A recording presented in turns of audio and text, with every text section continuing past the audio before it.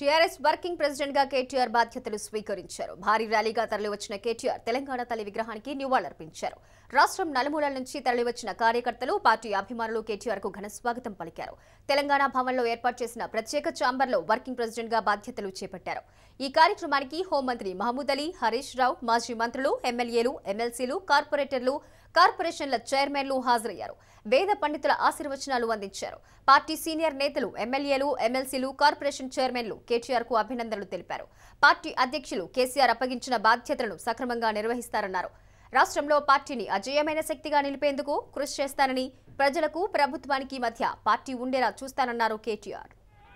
మీ అందరి ఆశీస్సులతో మీ అందరిలో ఒకడిగా మీలో ఒకడిగా మీ సోదరుడిగా ఉంటూ తప్పకుండా మన పార్టీ తెలంగాణ ప్రజలకు ముఖ్యంగా తెలంగాణలోని పేదలకు రైతులకు మహిళలకు యువకులకు ప్రతి ఒక్కరికి తెలంగాణలోని ప్రతి కులానికి ప్రతి మతానికి సంబంధించిన పేదలందరికీ అండగా ఉంటూ ముందుకు పోయే దిశగా పార్టీని ఒక అజేయమైన శక్తిగా మలిచే క్రమంలో మీ అందరి ఆశీర్వాదాన్ని మనస్ఫూర్తిగా కోరుకుంటూ పెద్ద ఎత్తున మరి ఈరోజు రాష్ట్రం నలుమూలల నుండి కూడా విచ్చేసిన మా అన్నదమ్ములకు అక్క చెల్లెలందరికీ శిరస్సు వంచి పాదాభివందనం చేసుకుంటూ మీ అందరి మద్దతుతో మీ అందరి ఆశీర్వాదంతో తప్పకుండా పెద్దలు కేసీఆర్ గారు మన మీద పెట్టిన బాధ్యతను సవ్యంగా నిర్వర్తిస్తానని చెప్పి మీ అందరికీ కూడా విజ్ఞప్తి చేస్తూ ఒక వంద సంవత్సరాల పాటు టీఆర్ఎస్ అనే పార్టీ ప్రజల సేవలో తెలంగాణ ప్రజల సేవలో నిమగ్నమయ్యే విధంగా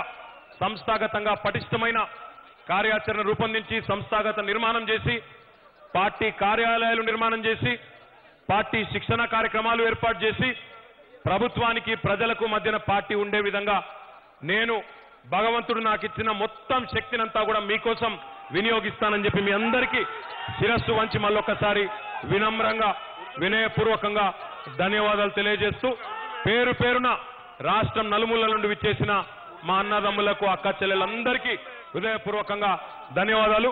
జై తెలంగాణ! Música